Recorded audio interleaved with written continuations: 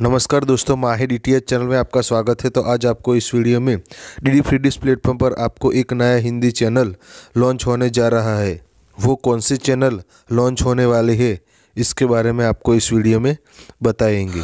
दोस्तों, हमारे पास पुराना एंटीना था, तब हमें दो चैनल देखने को मिलने वाली थी, एक डी मेट्रो और डी नेशनल तो उस दोनों चैनल में से हमें डी मेट्रो उस चैनल फिर से एक बार D D free dish platform पर आपको देखने को मिलने वाला है।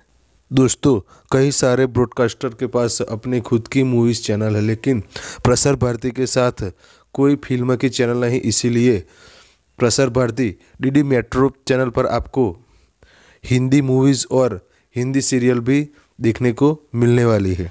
दोस्तों, डीडी मेट्रो उस चैनल आपको डी डी फ्री डिश पर पहले चलता था, लेकिन उसको 2003 में रीब्रांड करके डी डी न्यूज़ की चैनल कर दी गई थी। तो अभी फिर से D D metro channel D D free dish पर वापसी कर रहा है।